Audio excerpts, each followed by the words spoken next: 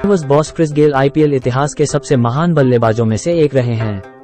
वो आईपीएल में Royal Challengers Bangalore Kolkata Knight Riders और किंग्स इलेवन पंजाब जैसी टीमों की तरफ़ से खेले हैं।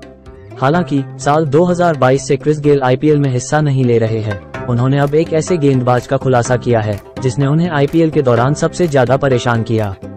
हैरान करने वाली बात यह है कि इन गेंदबाजों में ना हरभजन सिंह, रविचंद्रन अश्विन और न ही भुवनेश्वर कुमार का नाम शामिल है। जियो सिनेमा पर बातचीत के दौरान उनसे पूछा गया कि आईपीएल में आपको किस गेंदबाज ने सबसे ज़्यादा परेशान किया है। उन्होंने इसका जवाब देते हुए कहा, बेशक बुमराह, मैं भज्जी या अश्विन की तरह किसी ऑफ़ स्पिनर को नहीं चुनने जा रहा हूँ। लेकिन, जिसने मुझे परेशान किया वो है बुमराह। उनकी धीमी गेंद खेलना काफ़ी मुश्किल होता है, उसके वेरिएशन काफ़ी अलग अलग हैं। इसलिए मैं बुमराह को पिक करूँगा। बता दें कि क्रिस गेल द्वारा अश्विन या हरभजन सिंह का नाम नहीं लेना थोड़ा हैरान कर देने वाला था।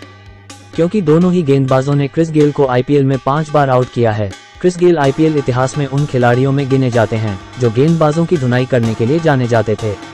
पिच पर सेट होने के बाद उनका बल्ला बोलने लगता था। बात करें उनके रिकॉर्ड की तो वह आईपीएल इतिहास में सबसे ज़्यादा छक्के जड़ने वाले खिलाड़ी है।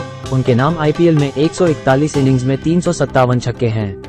वही ए बी डिविलियर्स दो सौ उनतालीस छक्कों के साथ उनसे काफ़ी पीछे हैं।